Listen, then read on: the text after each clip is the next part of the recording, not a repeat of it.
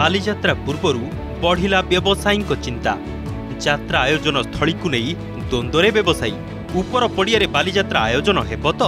ହେଲେ ତଳ ପଡ଼ିଆରେ ସମ୍ପୂର୍ଣ୍ଣ ବାଲିଯାତ୍ରା ଆୟୋଜନ ପାଇଁ ପରାମର୍ଶ ଦେଇ ସାରିଛନ୍ତି ହାଇକୋର୍ଟ। ଯାହାକୁ ନେଇ ଏବେ ଦ୍ୱନ୍ଦ୍ୱରେ କଟକ ବ୍ୟବସାୟୀ ପ୍ଲଟ୍ ପଞ୍ଜୀକରଣ ଓ ଆବଣ୍ଟନ ସରିଛି ଆସନ୍ତା ପନ୍ଦର ତାରିଖରୁ ବାଇଶ ତାରିଖ ପର୍ଯ୍ୟନ୍ତ ଆୟୋଜନ ହେବ କଟକର ଐତିହାସିକ ବାଲିଯାତ୍ରା ଏଥିପାଇଁ ପ୍ଲଟ୍ ପଞ୍ଜୀକରଣ ପ୍ରକ୍ରିୟା ଶେଷ ହୋଇଥିବା ବେଳେ ନିଲାମ ମାଧ୍ୟମରେ ପ୍ଲଟ୍ ଆବଣ୍ଟନ ଚାଲିଛି ଉପର ପଡ଼ିଆରେ ପାଖାପାଖି ଛଅଶହ ପ୍ଲଟ୍ ରହିଛି ହେଲେ ବାଲିଯାତ୍ରାକୁ ସମ୍ପୂର୍ଣ୍ଣ ଭାବେ ତଳ ପଡ଼ିଆରେ ଆୟୋଜନ କରିବା ପାଇଁ ଜିଲ୍ଲା ପ୍ରଶାସନକୁ ହାଇକୋର୍ଟଙ୍କ ପରାମର୍ଶ ପରେ ଏବେ ଚିନ୍ତାରେ ଅଛନ୍ତି ବର୍ଷ ବର୍ଷ ଧରି ଉପର ବାଲିଯାତ୍ରା ପଡ଼ିଆରେ ବ୍ୟବସାୟ କରୁଥିବା ବ୍ୟବସାୟୀ ଟେଣ୍ଟ କାମ ପାଇଁ କିଏ ଆଡଭାନ୍ସ ଦେଇସାରିଲେଣି ତ ଆଉ କିଏ ଦେବେ କି ନାହିଁ? ଦ୍ୱନ୍ଦ୍ୱ ଭିତରେ ଅଛନ୍ତି।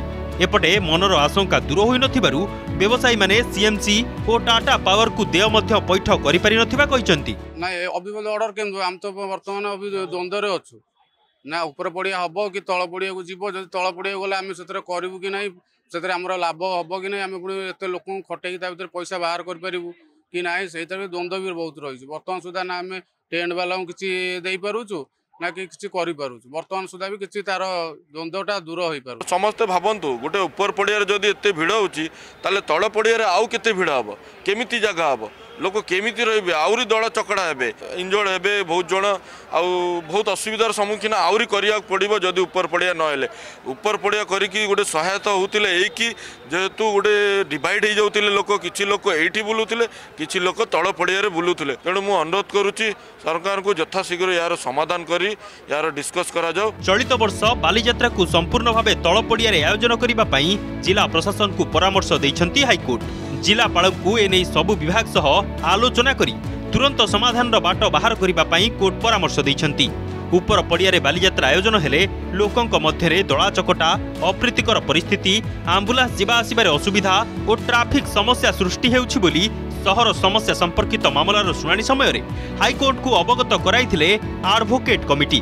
ତେବେ ହାଇକୋର୍ଟଙ୍କ ପରାମର୍ଶ ବ୍ୟବସାୟୀ ଜନସାଧାରଣଙ୍କ ସ୍ୱାର୍ଥକୁ ନଜରରେ ରଖି ଆସନ୍ତା ସୋମବାର ଦିନ বৈঠকরে আলোচনা করা যাই সমাধানর বাট বাহার করা যিব বলি কইছন্তি কটকর ভারপ্রাপ্ত জেলাপাল মানকর ন্যায়ালয় যেটা দেইছন্তি সেইটা বিষয়ে কালি তর্জমা করা যিব এবং বর্তমান পর্যন্ত কেউ পর্যায়কু যাইছি এবং আমি তাপরে আমি কোন করা যাই পারিব কেতে দূর সে প্রস্তাবক কার্যকরী করা যাই পারিব কালি তর্জমা কলা পরে আপনাদের জনাইব এনজিটি নির্দেশ মুতাবক তল পড়িয়ার মাত্র চৌত্রিশ একর জমিরে বালিযাত্রা আয়োজন হেউছি ଯଦି ସମ୍ପୂର୍ଣ୍ଣ ବାଲିଯାତ୍ରା ତଳ ପଡ଼ିଆରେ କରାଯାଏ ତାହେଲେ ଏଥିରେ ଆହୁରି ଅଧିକ ସମସ୍ୟା ସୃଷ୍ଟି ହେବ ବୋଲି କହିଛନ୍ତି ସହରବାସୀ କଟକରୁ କ୍ୟାମେରା ପର୍ସନ ଗୌତମ ମହାନ୍ତିଙ୍କ ସହ ଇମ୍ରାନ ଖାନଙ୍କ ରିପୋର୍ଟ ଅର୍ଗସ୍ ନ୍ୟୁଜ୍